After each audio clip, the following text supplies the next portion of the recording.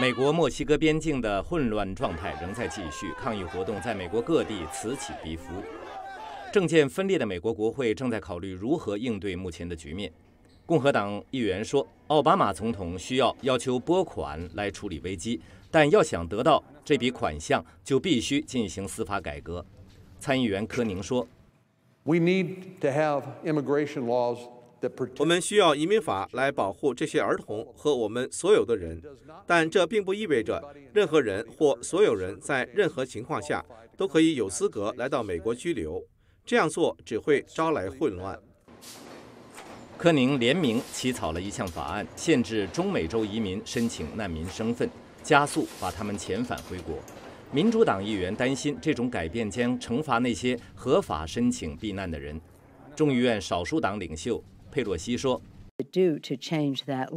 这不仅涉及到中美洲，它关系到美国在全球难民和申请避难问题上的立场。我们能对其他国家说：‘你们接纳他们，但不要和我们讨论这个问题吗？’”奥巴马总统敦促国会采取行动。我希望贝纳议长和众议院共和党人八月份不要一走了之。离开华盛顿去休假。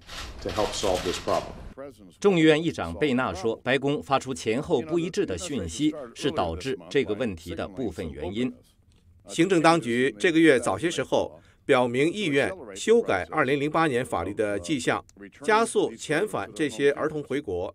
现在总统和他的团队显然又反悔了。三个中美洲国家领导人上星期访问华盛顿，要求美国采取人道措施来对待逃往美国的公民。洪都拉斯总统埃尔南德斯说：“